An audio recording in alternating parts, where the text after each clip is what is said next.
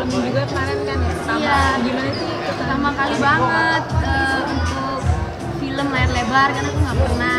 Akhirnya dapat kesempatan buat main ya senang sekali. Pastinya merasa punya kesempatan buat nyobain main film gimana.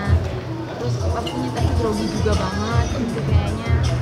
Soalnya dunianya beda sekali terus acting yang aku pernah bahkan cuman ya maksudnya actingnya maksudnya sinetron FTV gitu yang ternyata sangat berbeda sama film layar lebar belajar dari nol. Ada acting coachnya juga kan Kemet ngajarin dari nol banget untuk ngebangun karakternya gitu.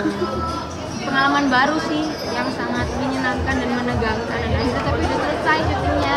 Tinggal nunggu hasilnya sih penasaran gimana beda sih ternyata apa ya lebih detail lebih lebih terus harus lebih real gitu kan actingnya lebih susah eh, susah sebenarnya nggak? Actingnya tuh lebih nggak acting gitu. Itu yang bikin susah karena nggak boleh ya, jangan kelihatan acting gitu ya. Tapi harus ya gimana lah gitu. Agak agak susahnya karena emang kebetulan pertama dan emang karakternya berbeda sekali sama aku sehari-hari sehari-hari. Kan aku mah gini orangnya sukanya nyantai gitu terus eh, manja.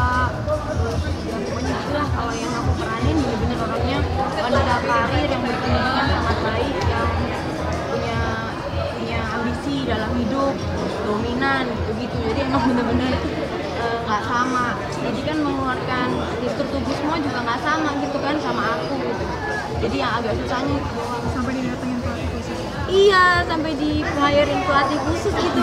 Eh, apa? Bener-bener belajar dari nol lah ya orang sekolah lah gitu. Tapi leb- ya kilat lah.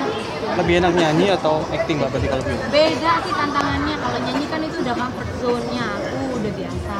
Jadi ya nyanyi lebih lebih enak pasti karena emang lebih biasa. Kalau yang ini lebih menantang pasti.